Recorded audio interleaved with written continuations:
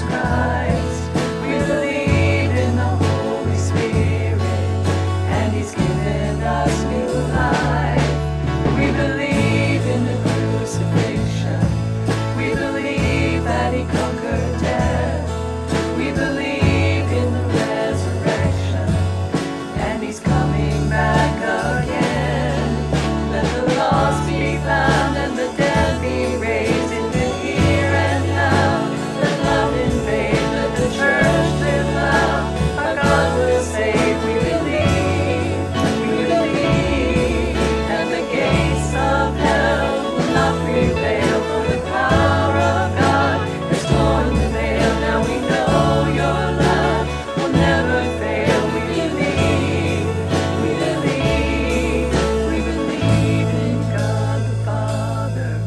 We believe in Jesus Christ.